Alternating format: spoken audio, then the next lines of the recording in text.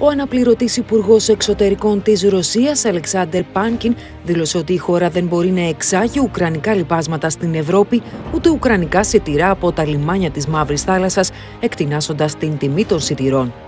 Όπως δήλωσε κομψά, Ξέρετε, η ποτάσα και τα ορυκτά λοιπάσματα, τα σιτηρά, η δυνατότητα εξαγωγής ουκρανικών σιδηρών είναι ένα περίπλοκο κουβάρι θεμάτων.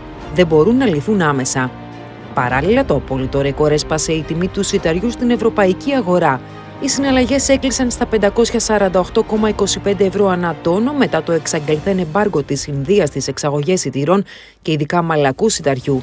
Στην Ελλάδα, οι καλλιεργήσιμες εκτάσεις μαλακού σίτου αποφέρουν παραγωγή μόλις 200.000 τόνων, η οποία καλύπτει με τα βία στο 20% των εθνικών αναγκών.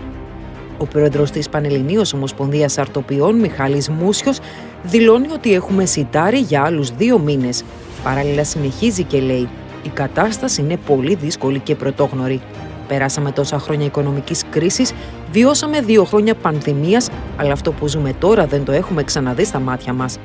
Με βάση τα στοιχεία που έχει Ομοσπονδία αυτή τη στιγμή, η μέση τιμή του κιλού στο ψωμί διαμορφώνεται στα 2,5 ευρώ, ενώ υπάρχουν περιοχές όπου έφτασε και στα 2,60 ευρώ το κιλό.